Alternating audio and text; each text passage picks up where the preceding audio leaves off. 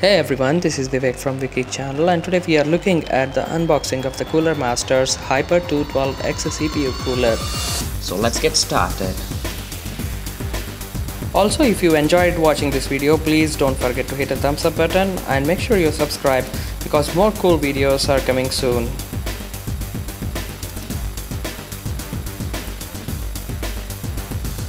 Oh, the air was blown up there. Alright, yes, you see the box here. I went on to buy this X model because this X had 4 direct contact heat pipes. And as you see in 212 Evo and 212 Plus models, they are a bit far from each other. This has more heat dissipation than those two models, so I went on to buy this 212X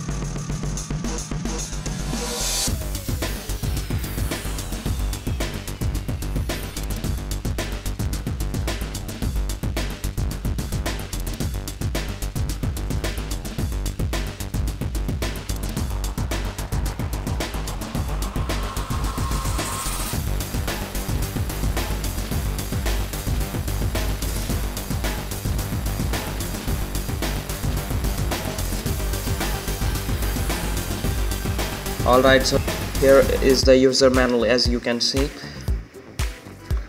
So they have highlighted the contents inside the box. You need to check them out because there are teeny weeny bit of uh, screws and stuffs like that there. Also while uh, selecting the screws for your socket be it 2011 1150 1155 you need to be very careful because each type of screws fit onto each type of uh, sockets there. And the blades as you can see here for the fan itself it will dissipate more heat out of your cabinet itself. So make sure you have rear mount fan 120 mm fan or something like that.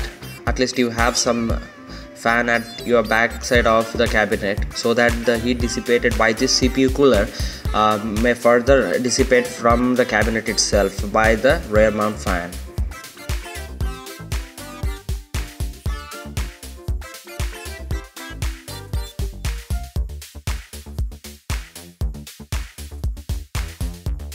We have the fan itself attached with the fins so please be careful while you are touching these pins and all because they are very very sharp and you may bruise yourself. As you can see these are the four direct contact pipes. They are in contact at the bottom itself. This is what it seems to be changed in this model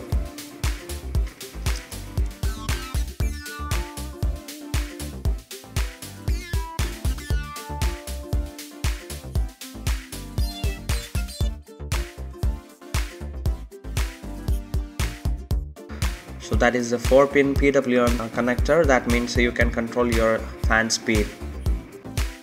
I've taken another shot of this so you can see the things clear. So as you can see the LGA 2011 socket screws those are different screws that mount on the motherboard.